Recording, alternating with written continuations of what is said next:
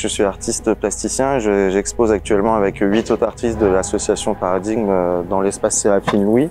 Moi, j'ai travaillé plus particulièrement sur des volumes et du coup, la mairie de Clermont euh, et ses élus m'ont demandé s'il y avait possibilité de faire une œuvre à partir des, des lits qui sont une des, une des matières premières qu'on trouve le plus facilement euh, dans ce chantier, euh, vu que c'est du métal et que ça, ça c'est assez euh, résistant. Euh, on a trouvé ces- un nombre euh, assez conséquent de ces, ces lits. Dans l'idée, on avait euh, l'envie de travailler un- sur un- une œuvre qui représentait un peu l'enfermement. Donc les jeunes ont trouvé un, un nom assez sympa, c'est enfermement avec un triple sens avec enfer parce que c'est la matière qui est en ferraille. Enfer parce que l'enfer c'est ce euh, ce qu'elle vivait euh, dans cette maison de préservation. Et euh, évidemment elles étaient dans une cellule, donc l'enfermement c'était vraiment la chose qu'elle vivait pendant des années et des années ici. Donc en fait on a eu l'idée de faire une sorte de, cube, un volume qui représenterait le volume d'une cellule en amoncelant euh, toutes ces amas de ferraille qui sont en fait les lits qu'elles utilisaient tous les jours. Euh, Euh, pour faire cette œuvre, on a eu l'aide de Alexis Cruc qui a, qui a géré un peu comment fallait faire. Il nous a dit comment mettre euh, les bouts de ferraille, tout ça. L'œuvre, en fait, c'est plein de bouts de ferraille et des lits aussi, les anciens lits de ces dames-là. Et on les a tous entassés pour mettre en perspective l'horreur qu'il y a eu pour ces jeunes femmes. Ils vivaient dans, des, dans des lits délabrés, a- ils n'avaient même pas de toit pour qu'ils soient surveillés H24. Donc euh, voilà, je suis fier d'avoir fait cette œuvre. euh, du coup, voilà, on voulait quelque chose d'assez symbolique. euh, donc ce volume là qui représente une cellule avec tous ces amoncellements de métal euh, qui ont été entreposés euh, notamment par Noah, Noam, Ismaël et Antoine, les jeunes qui sont sur le chantier archéologique, symbolise un peu ce, ce- cet enfermement.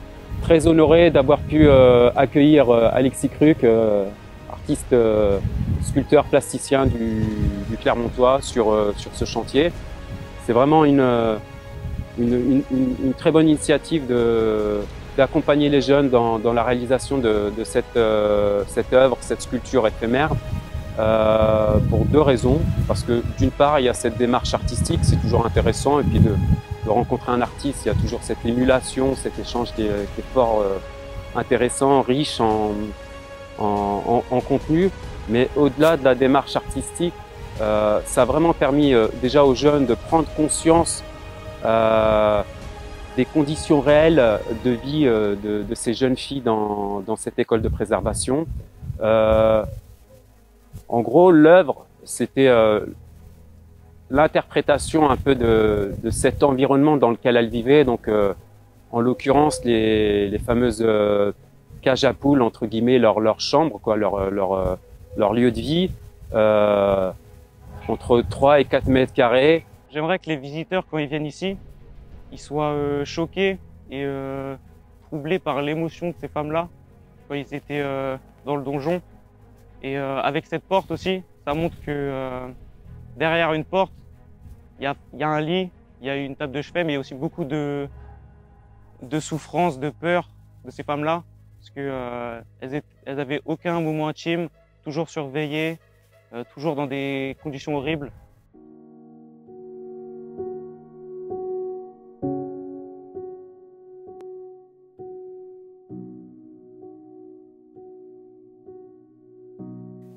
Imagine-toi à leur place, comment ça a dû être compliqué. Ouais, c'est vrai que ça a dû être très compliqué de vivre là à l'intérieur parce que comment c'était étroit et à mon avis ils ont pas dû être très heureuses forcément. Bah, elles étaient seules dans leur Ouais, euh, ça. chambre. Enfin, si on peut appeler ça des chambres, mais C'est plus euh, des cellules, ouais. des très petites cellules quand T'as même. vu dans les photos, il y avait même des dessins sur les Oui, murs et tout, c'est- ouais. c'était très. des prénoms et tout. Ouais, même un dessin, je crois j'avais vu un. Non, je sais pas, sur une vidéo, j'avais cru voir un sorte de cheval euh, sur les murs. parce que il y avait pas énormément de place. hein. Même pour leur euh, période, euh, c'est.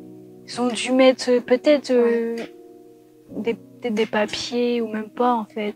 Ouais, ça, peut-être des feuilles de papier, hein, ouais. Elles devaient tellement s'ennuyer toutes seules là. Mais oui, Elles étaient emprisonnées et tout. C'est pour ça qu'il devait y avoir des dessins, enfin qu'il y a les dessins. Tu sais, Oui. elles, elles avaient rien à faire de toute façon. oui, et puis à mon avis, ils ont dû Enfin, il manquait à plusieurs personnes parce que vu qu'il y avait des gravures en forme de cœur, Ouais, il y avait des parlait- prénoms aussi. Oui, il parlait peut-être de leur fiancé, tout Ouais, ça, voilà. quoi. Je pense. Ça doit être ça, hein. Bah, les gens qui leur, manquaient parce qu'elles étaient Bah vraiment oui. seules, toutes seules. Parce que forcément, leur vie, elles étaient pas vraiment joyeuses, quoi. Ah non, elles Rester devaient dans une prison, Bah, elles dormaient dans des cellules, euh, enfermées, elles super pouvaient rien faire. Ouais. C'était obligé d'obéir. Si elles obéissaient pas, forcément, on les punissait. Mm.